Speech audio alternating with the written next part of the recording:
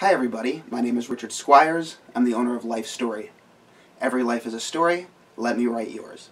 It is my passion to meet people, to talk with them, and to hear the stories of their lives, and to write those stories down in a book that makes a legacy that a family will cherish for generations to come.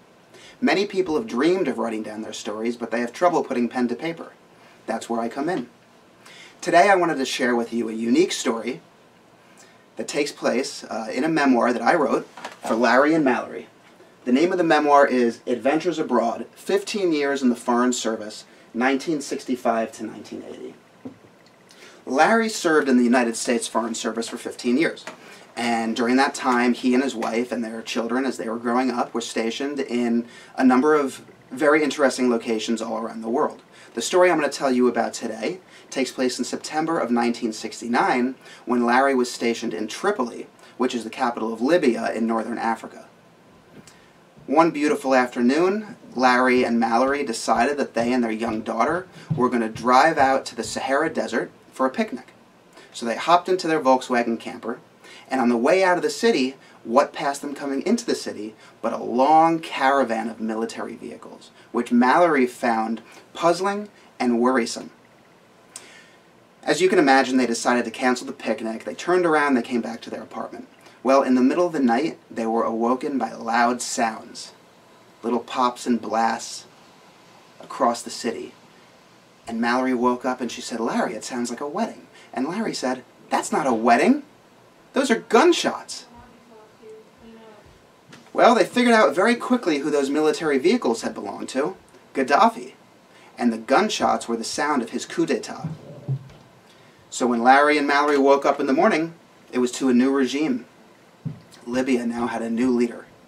And everyone was quarantined in their homes. They weren't allowed to leave. Except Larrie, because he was a diplomat, was allowed to walk to the embassy. He had certain passes that he would show.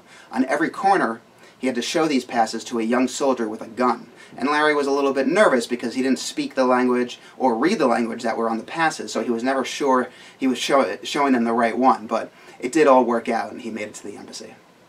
But 1969, it's not so recent, yet the story is so applicable to today. Because during this unprecedented time, when we're quarantined in our homes, what an opportunity to start writing down your thoughts and your memories. I find writing to be therapeutic and a great vehicle for helping people. If you're considering writing your memoir and you don't know where to begin, please contact me. My email is richard at lifestorymemoir.com. I will guide you and create a memoir that you will be thrilled to read and to share with your family and your friends. Now, all this talk of Tripoli has got me thinking about a certain song that I'm familiar with, the Marines Hymn. And when I start thinking about a song, it kind of makes me want to strum my guitar. And sometimes also sing along. So here's my version of a Marines, the Marines Hymn. From the halls of Montezuma to the shores of Tripoli We fight our country's battles in the air,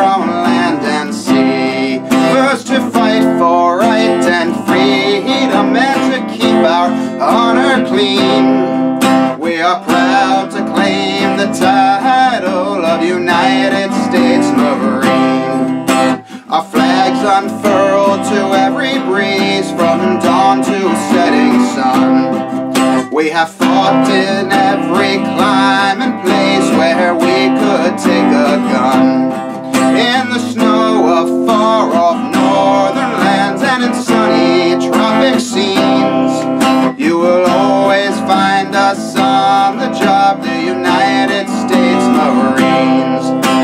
Here's health to you and to our corps, which we are proud to serve.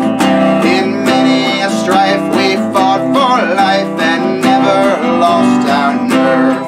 If the army and the navy ever look on heaven's scenes, they will find the streets are guarded by United States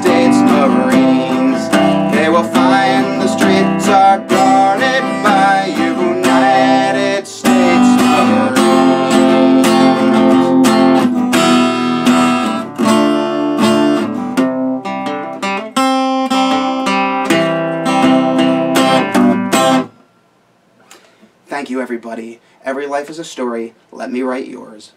You can reach me at richard at lifestorymemoir.com. Please, everyone, stay safe, stay healthy. I hope to talk to you again soon.